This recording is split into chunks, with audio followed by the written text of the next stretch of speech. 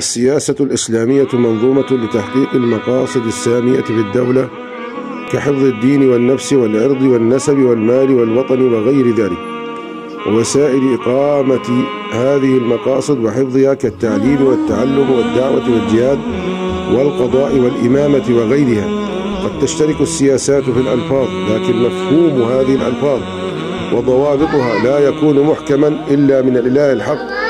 كالمعرفة والنظر والطاعة والأمانة والرحمة والحقوق التضحية الوفاء والعدل والحرية والمحافظة والشجاعة والعفة والحكمة العفو التسامح التواضع التراحم والإكرام وغيرها.